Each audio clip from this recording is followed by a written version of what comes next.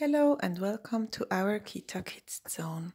The Kita Kids Zone is located in Horburgstrasse 2 in Basel. This is right across the Drei-Rosen Bridge in Klein Basel. We are really happy to welcome you in our small Kita. We have capacity for 30 children in our Kita. At the moment, we take care of 20 children per day approximately. The children are separated in two different groups. We have the STARS group, which is the baby group.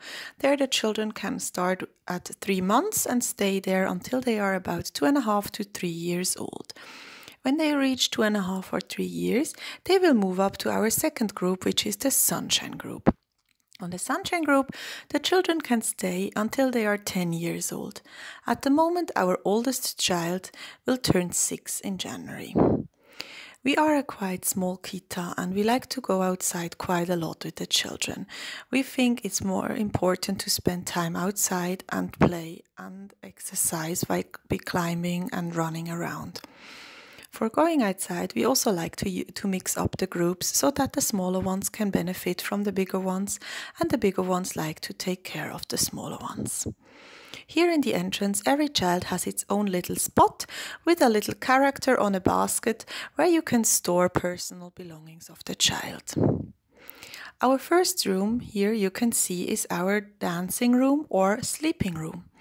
After lunch, all the children that have a regular lunch nap spend this time in here. Two adults are with them and helping them falling asleep. As you can see, there are the same little clouds on the walls like on the small baskets in the entrance, so that children can recognize their own places.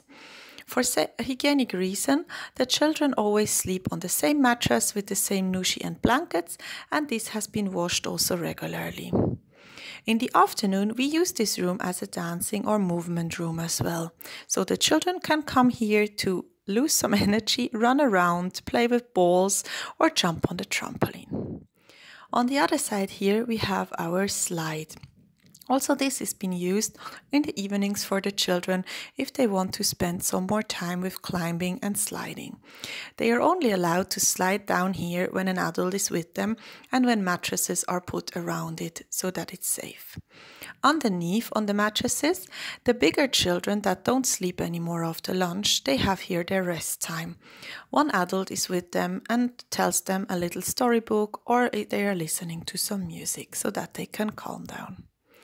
On our whiteboard here, you can find all the important informations about our kita and about the quartier. You can find, for example, our holiday sheets where you can see when the kita is closed during the year. We are closed for the regular holidays and also for two weeks of uh, summer holidays in July and one week approximately in December for Christmas holidays.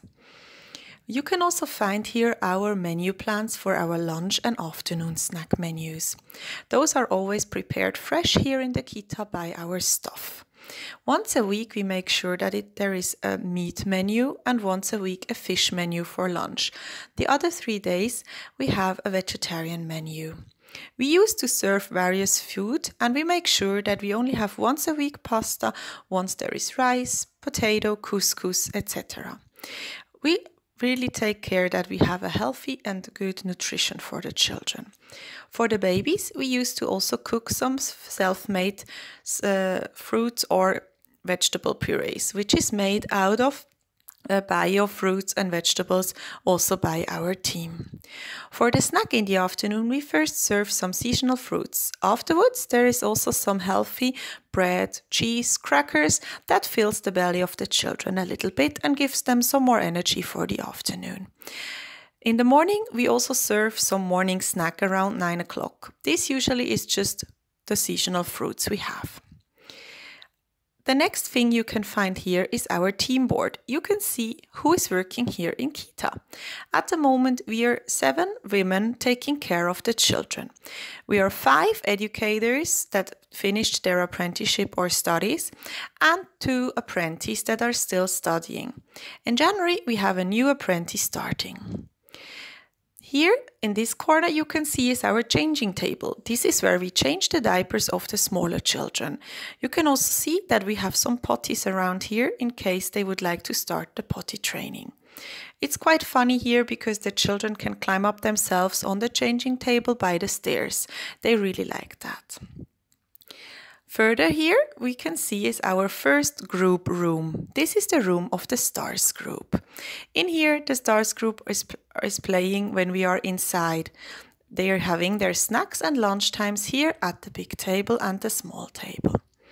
On the whiteboard, you can also see the crafts activities we are doing with the children. Usually, we discuss with the children a topic concerning to the season which is taking us about five weeks. Concerning to the topic, we are doing some crafts activities. With the small ones, of course, it's more easier stuff like footprints, handprints, or sensory bins. With the bigger ones, we also do some cutting, gluing, or other funny things together.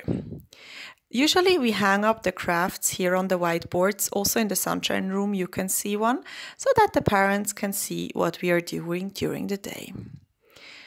The next room here you can find is our sunshine room. In the sunshine room, we have the possibility of two different rooms.